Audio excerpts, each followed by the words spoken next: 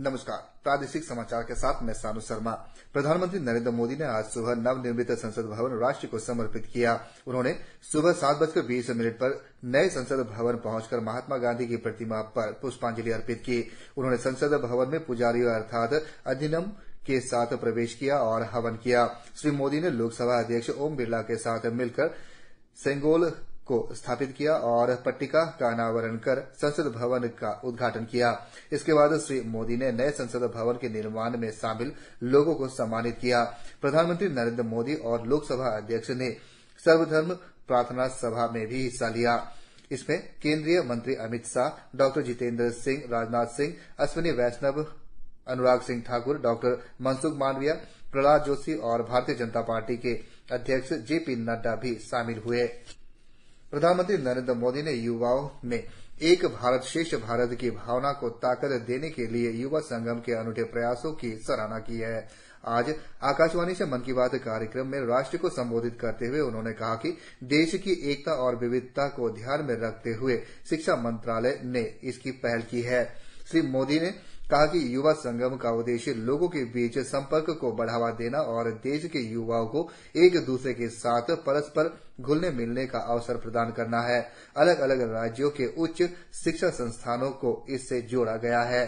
प्रधानमंत्री ने कहा कि युवा संगम पहल के माध्यम से युवा दूसरे राज्यों के शहरों और गाँवों में जाते हैं, जिससे उन्हें अलग अलग तरह के लोगों से मिलने का मौका मिलता है।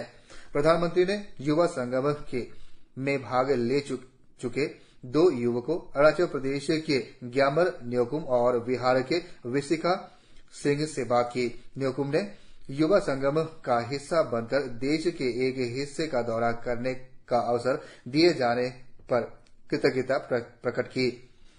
श्री मोदी ने कहा कि स्वतंत्रता संग्राम में जनजातीय लोगों के योगदान को दर्शाने वाले दस संग्रहालय की स्थापना की जा रही है।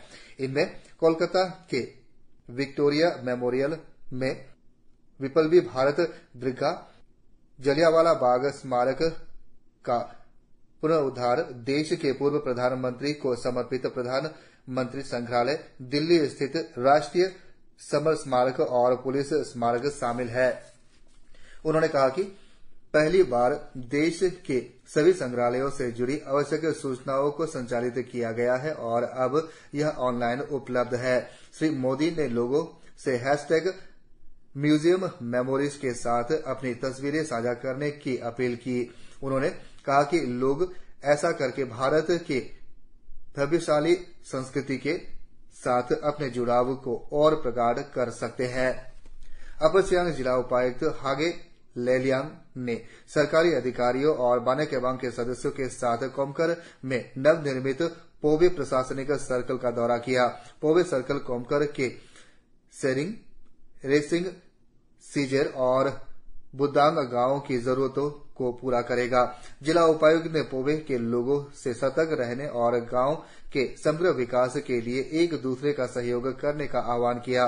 बाने के सदस्यों ने गाँव के मुद्दे जैसे पानी, बिजली, उचित जल निकासी के साथ सीसी सड़क के निर्माण और अन्य छह बिंदु ज्ञापन भी प्रस्तुत किए। जिला उपायुक्त ने हाल ही में हुए एआईएसएसई और सीबीएसई परीक्षा में अपर सियांग के सरकारी स्कूलों के खराब शैक्षणिक प्रदर्शन पर भी चिंता व्यक्त की।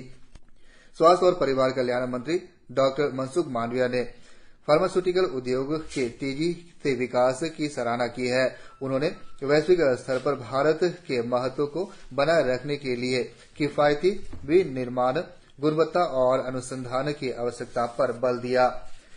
नई दिल्ली में आज दवा और चिकित्सा उपकरण क्षेत्र पर आठवें अंतर्राष्ट्रीय सम्मेलन के दूसरे दिन घरेलू फार्मास्यूटिकल उद्योग के प्रमुख कार्यकारी अधिकारियों के साथ गोलमेज बैठक की अध्यक्षता करते हुए श्री मांडविया ने यह बात कही। उन्होंने हितधारकों से उत्पादन से जुड़ी प्रोत्साहन योजनाओं और आगामी ड्रग पार्कों के सकारात्मक प्रभाव का उल्लेख करते हुए मौजूदा अवसरों का लाभ उठाने को कहा। डॉ मांडविया ने मूल्य निर्धारण नियामक नीति और रणनीतिक रणनीतियों पर सुझाव देने को भी कहा।